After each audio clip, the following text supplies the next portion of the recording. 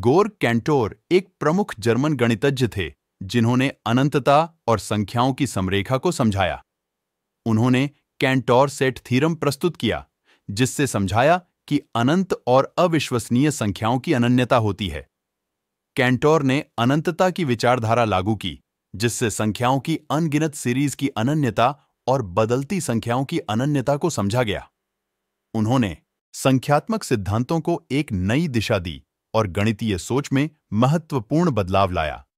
Centaur के योगदान ने गणित को एक नए स्तर पर ले जाया और वे गणितज्ञ के रूप में महत्वपूर्ण माने जाते हैं, जिन्होंने संख्यात्मक सोच को नए और अद्वितीय दृष्टिकोण से पेश किया।